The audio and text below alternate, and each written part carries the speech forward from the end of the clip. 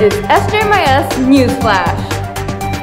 SJMIS family, thank you so much for cooperating by wearing masks and social distancing.